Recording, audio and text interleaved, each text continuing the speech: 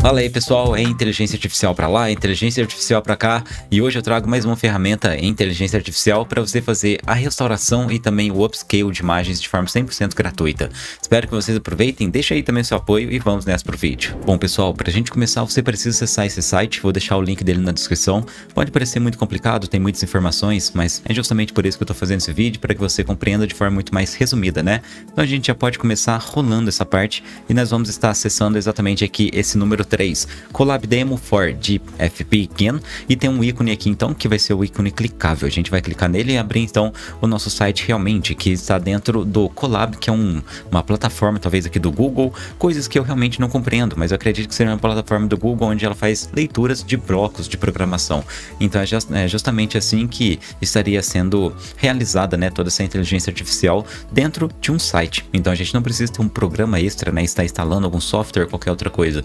Nós estamos conseguindo utilizar da usabilidade de um site, né, para fazer a utilização então de uma inteligência artificial. Mas o importante para a gente é realmente fazer a utilização dela. Então vamos nessa para nossa primeira parte. Aqui tem vários textos explicando como que ela funciona e até mesmo como faz a utilização, perfeito? Mas a gente pode começar então observando que temos vários grupos de blocos, né, de programação que nós vamos fazer a leitura deles. Alguns deles eu já fiz aqui. Esse daqui, por exemplo, durou 28 segundos mas basta você estar clicando então aqui no play, certo? Ele vai fazer todo esse processo e depois está confirmando, mostrando esse ícone aqui de confirmado do lado, é, dizendo que a ferramenta, que é essa etapa, ela foi realmente finalizada, perfeito? Então depois de confirmado e finalizada essa etapa, a gente pode pular para a próxima. Ele faz todo esse, é, esse cálculo, ele apresenta para a gente toda essa leitura aqui de texto, né? Então a gente pode pular para a próxima etapa, é, upload images, certo? Então aqui a gente vai fazer o upload da nossa imagem. Você vai dar o play, aqui a gente pode fazer de novo. Ele pergunta aqui, você pode executar assim mesmo, tranquilamente, certo? Tem algumas etapas que demoram mais, algumas etapas demoram um pouco menos. Essa daqui com certeza é muito mais rápida, então já vou clicar aqui em escolher arquivos. Tem um arquivo já que eu baixei do Google para a gente fazer o teste sobre ele, certo?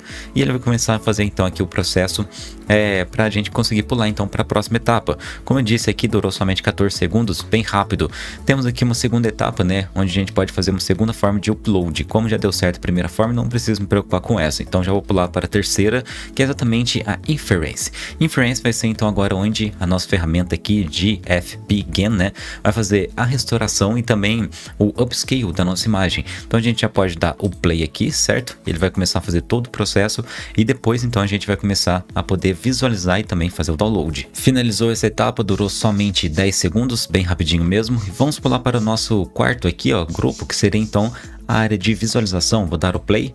A gente vai conseguir observar então o antes e o depois, a versão original e a versão agora com toda essa etapa, com todos esses efeitos aí dessa ferramenta. Ele vai apresentar para a gente também uma visualização cropada somente do rosto, né? E a gente observa aqui, galera, olha só que incrível, que coisa fascinante realmente, como que ele consegue tanto fazer a melhora na qualidade, mas também fazer a restauração de toda a imagem, né? Ele removeu muitas partículas, muitos noises, muitos ruídos e trouxe uma qualidade muito mais interessante, tá perfeitamente definida a imagem com o resultado final. Vamos pular para a próxima etapa então, onde a gente vai poder visualizar toda a imagem. Vou dar o play aqui e depois dessa etapa, provavelmente também a gente vai poder fazer o nosso download, certo? Então temos aqui a versão original, a versão com a nossa ferramenta feita e por último aqui o download. Veja como que é simples, basta a gente clicar aqui nesse bloco e aqui em alguns segundos, né, ele já traz o arquivo zip para a gente fazer o download. Vamos fazer o download aqui e está comparando então as versões lá dentro do nosso Photoshop. Aqui no arquivo zip ele vai trazer para a gente quatro pastas. A primeira delas que vai ser o antes e o depois, que ele apresentou para a gente somente do rosto. A segunda dela que vai ser somente o rosto na sua versão original. A terceira somente o rosto na sua versão agora corrigida. E a quarta que é realmente a nossa imagem então completa, né, restaurada. E vamos abrir então essa última realmente. Eu vou abrir o meu Photoshop, soltar ela por cima e a gente consegue perceber então as suas diferenças. Eu consegui observar aqui que o rosto parece que se alterou um pouquinho, mas claro que a imagem ela estava totalmente destruída, então ele precisava ter algum tipo de referência um pouco mais clara, né, para trazer um resultado cada vez mais fiel. Mas de todo jeito, galera, é impecável o jeito que ele consegue realmente restaurar e corrigir as imagens. Veja como que ele trouxe muito mais nitidez, até mesmo para os pequenos pequenos detalhes, né? Como aqui a parte do cabelo. A parte do cabelo seria muito complicado ele conseguir realmente compreender, né? Que isso daqui são fios de cabelo e conseguir separar cada fiozinho, mas ele conseguiu representar perfeitamente tudo isso daqui.